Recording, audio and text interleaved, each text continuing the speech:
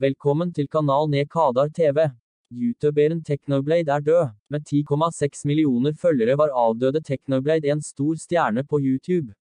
Den amerikanske Minecraft-stjernen Technoblade, 23, er død etter en tidskreftsykdom.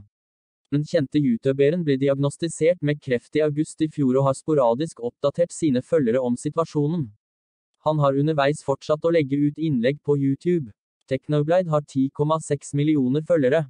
Han ble 23 år gammel. I en post fra 30. juni har faren etter sønnens død lagt ut et siste innlegg der Tekkenlobleid selv takker fans som fulgte Minecraft-stjernen gjennom årene. Takk for all støtten til mitt innhold gjennom årene. Hvis jeg hadde 100 liv, tror jeg at jeg ville valgt å være Technoblade igjen hver eneste gang. De var de lykkeligste årene i livet mitt, skriver Technoblade i meldingen. I videoen avslører Technoblade at hans virkelige navn er Alex.